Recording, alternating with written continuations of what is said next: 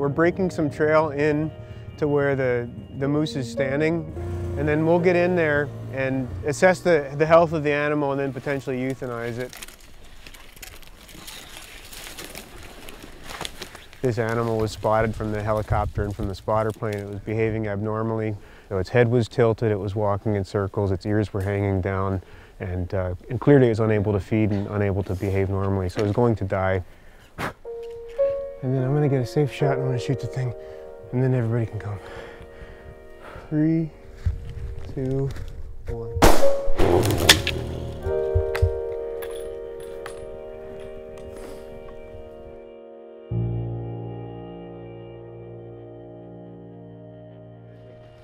As a wildlife biologist, Seth Moore has shot more moose than most hunters in Minnesota. It's not something he's proud of. Like this bull moose, all were deathly sick. It's indicative of, of brain worm. Um, that would be my leading suspicion as, as far as what was likely wrong with this. But we'll send samples off from all kinds of different body parts and get a true diagnosis. Moore's team recently shot this video of a moose swimming circles in Lake Superior, confused and near drowning. A necropsy later confirmed the animal had a parasite in its eyes and was also suffering from brainworm. Brainworm is a parasite carried by white-tailed deer and transmitted by snails. It's not new to moose, but the rate at which moose in Minnesota are now dying of it and other causes is raising alarm. And this is the sound a cow would make. Last year, moose numbers declined so steeply, the state and local Chippewa tribes canceled the moose hunt. It's an important part of our of our diet and our, our way of life. Hunting is not a factor that's causing the moose population decline. 95% of the animals that died last year died as a result of natural causes. Over the past decade, the state's moose population has dropped by half, and still no one seems to know why. Moose are very important around here. It brings the tourists. Everybody wants to see a moose.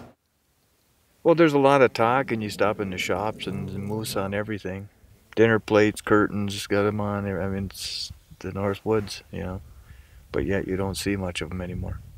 One theory points to heat stress and the long term effects of climate change.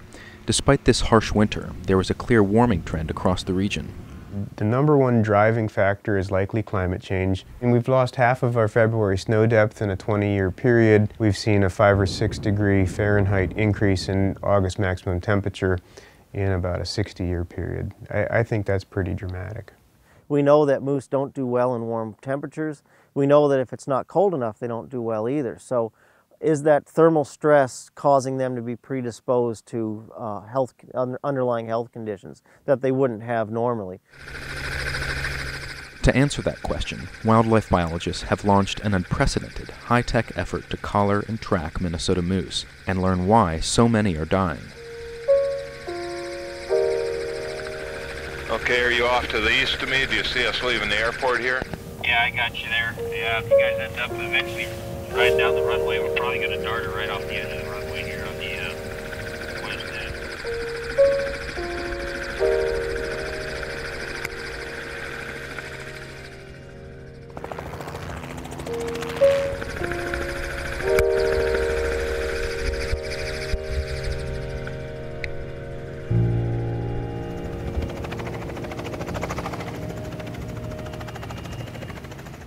The two tranquilizing darts contain an opioid strong enough to bring down an elephant.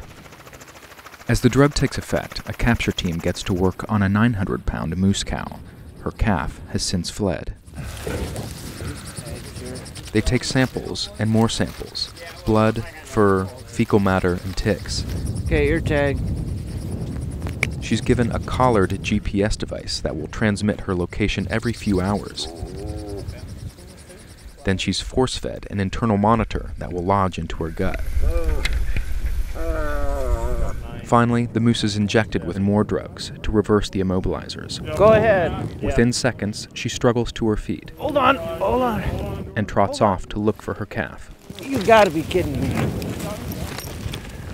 A day later, Moose 13827 will begin beaming precise coordinates and temperature data to desktop computers and cell phones response teams will monitor her movements and heart rate so that if her heart stops and she dies, they will know precisely when and where to find her.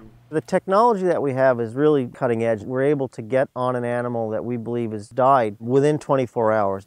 We can only determine a cause of death if we can get that fast enough and get the animal out and then do the tests. The state's mortality study is now in its second year, with nearly 200 moose online, and the data coming back is anything but certain. One mil, check. Well, it isn't one thing that's killed the moose so far in the study. It's been predator related causes and it's been health related causes, kind of a 50 50 split. And the health related causes have been also kind of a number of things uh, parasites and other even unknowns. Come on, girl. Where we had really good diagnostic samples, but there wasn't any one thing that really pointed to why that moose died. And then there's the trauma of the capture itself. Last year, at least four moose died from capture related causes.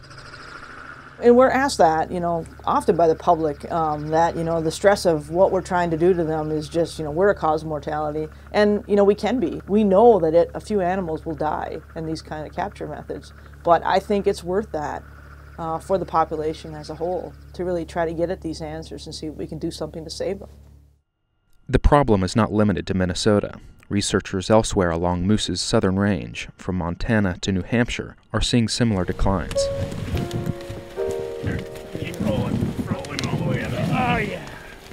There's really not a whole lot you can do, you know, and uh, we're not to the point, at least in our study, where we can really point to climate change as a clear cause. But that's in the back of our mind. If we can really pinpoint the overlying cause, then can we even do anything about it to really curtail this decline? Or are we just really, you know, documenting a species on its way out of our state?